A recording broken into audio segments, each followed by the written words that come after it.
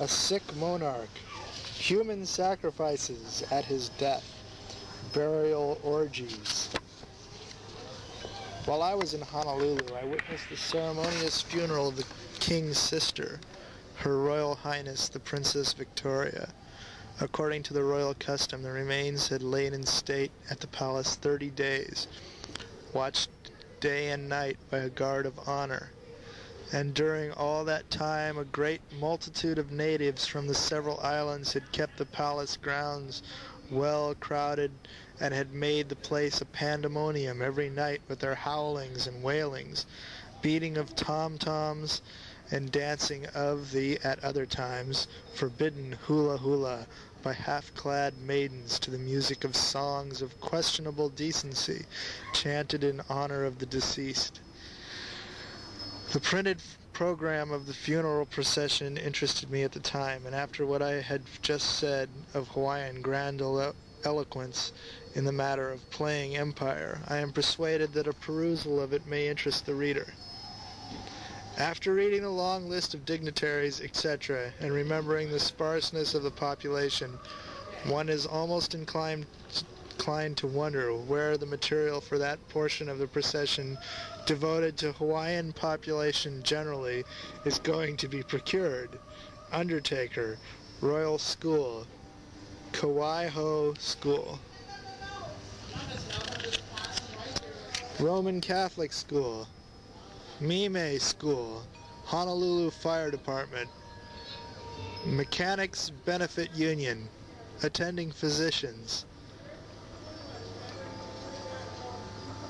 Kono Hikis, Superintendents of the Crown Lands, Kono Hikis of the Private Lands, of His Majesty Konohikis of Private Lands of Her late Royal Highness, Governor of Oahu and Staff, Hulu Manu Military Company, Household Troops, the Prince of Hawaii's own military company, the King's household servants, servants of Her late Royal Highness, Protestant clergy, the clergy of the Roman Catholic Church, His Lordship Louis Maigret, the Right Reverend Bishop of Arathea, Vicar Apostolic of the Hawaiian Islands. The clergy of the Hawaiian Reformed Catholic Church. His Lordship the Right Reverend Bishop of Honolulu. Hearse. Escort, Hawaiian Cavalier, large kahilas, small kahilas, pallbearers. Escort, Hawaiian Cavalry, large kahilas, ranks of long-handled mops made of gaudy feathers, sacred to royalty. They are stuck in the ground around the tomb and left there. Small kahilas pallbearers.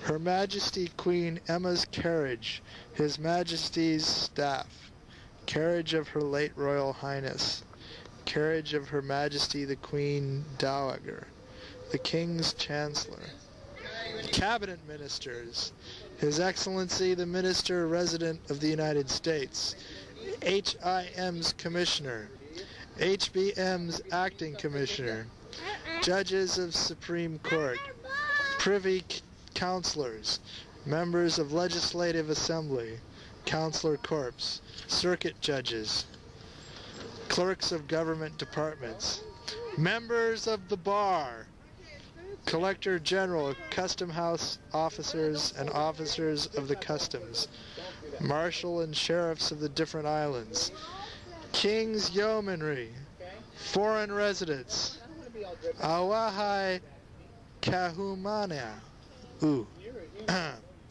right, Hawaiian population generally, Hawaiian cavalry, police force. I resumed my journal at the point where the procession arrived at the royal mausoleum. As the procession filed through the gate, the military deployed handsomely to the right and left and formed an avenue through which the long column of mourners passed to the tomb. Are you stuck?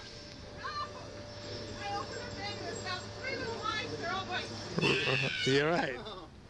The coffin was borne through the door of the mausoleum, followed by the king and his chiefs, the great officers of the kingdom, foreign consuls, embas- ambassadors, and distinguished guests. is Burlingame and General van Valkenburgh, asshole. Sit here and Several of the shit. You Kahilas- still read and stuff. where they festooned to a I'm framework in front of the tomb, there to remain until they decay and fall to If I can't pieces. Blow his cover. or forestalling this until another scone of royalty dies. At this- Yo, dude. Yo, dude, you're messing with the flow. Okay? At this point of the proceedings, the multitude set up such a heartbroken wailing as I hope never to hear again. The soldiers fired three volleys of musketry. I love about these people around here. The wailing being previously silenced to permit of the guns being heard. His Highness Prince William, in a showy military uniform, the true prince, this scion of a, the house, overthrown by the present dynasty, he was formerly betrothed to the princess but was not allowed to marry her, stood guard and paced back and forth within the door. The privileged few who followed the coffin into the mausoleum remained some time, but the king soon came out and stood in the door and near one side of it. A stranger could have guessed his rank, although he was so simply and, un- and unpretentiously dressed, by the profound deference paid him by all persons in his vicinity. By seeing his high officers receive his quiet orders and suggestions with bowed and uncovered heads, and by observing how careful those persons who came out of the mausoleum were to avoid crowding him, although there was room enough in the doorway for a wagon to pass for that matter. How respectfully they edged out sideways, scraping their backs against the wall and always presenting a front view of their persons to His Majesty, and never putting their hats on until they were well out of the royal presence. He was dressed entirely in black, dress coat and silk hat, and looked rather democratic in the midst of the showy uniforms about him. On his breast he wore a large gold star, which was half hidden by the lapel of his coat. He remained at the door a half hour, and occasionally gave an order to the men who were erecting the kahalis before the tomb. He had the good taste to make one of them substitute black crape for the ordinary hempen rope he was about to tie one of them to the framework with. Finally, he entered his carriage and drove away, and the populace shortly began to drop into his wake. While he was in view, there was but one man who attracted more attention than himself, and that was Harris, the Yankee Prime Minister.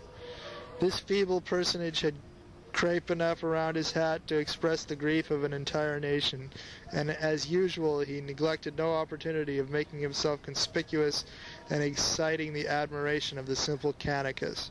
Oh, noble ambition of this modern Richelieu! Because David and Brett have got to head for home. Are you not going to eat or what?